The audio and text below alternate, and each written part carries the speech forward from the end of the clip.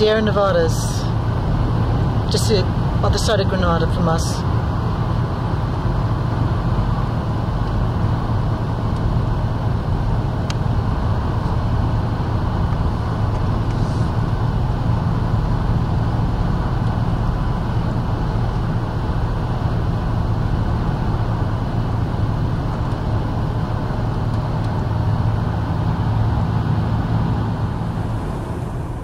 Something you don't see very often, solar panels and wind turbine in the snow. The other side of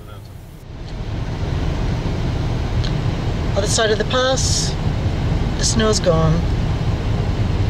No more than five kilometers.